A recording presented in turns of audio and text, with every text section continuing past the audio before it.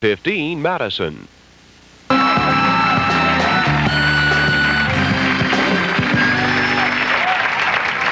Okay, hi, welcome back to the program. We're on the, what floor are we on? The seventh floor?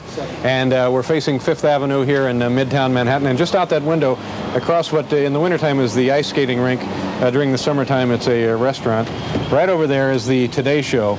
It's the uh, prime time version of the Today Show. Let me, let me show you a little something here, give you an idea, put this all in perspective. Hold that a second, will you? this was an ad we had for our last 90-minute special. This was our third year anniversary. Not too bad, you're saying to yourself. Pretty darn impressive, huh? Okay, that was our 90-minute special, third year anniversary. Remember, the Today Show comes on at dawn. They show cartoons. Take a look at this ad. Unbelievable, isn't it, ladies and gentlemen? It's the size of a beach towel. All right, so that's what they're doing. They're right over there, the Primetime Today Show. And are they doing something now? Okay. See what we can do here. Go ahead, Carl. Take a look out there. Let me somebody's belongings. okay. All right, can you see him, Carl? We got them? There's Bryant. attention, attention, people of New York City.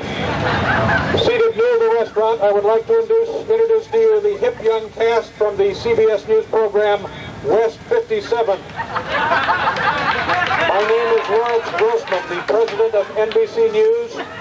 This primetime program was my idea and I'm not wearing pants. I have removed my pants. Willard, come up here. There is a woman who is 150 years young today. 150. Wish her a happy birthday. Can you people see this ad? Take a. Can you see?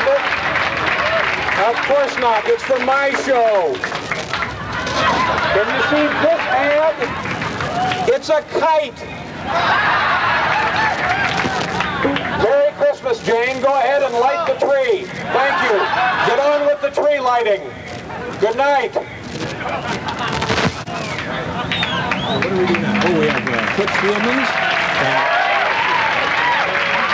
And, and then we'll be right back.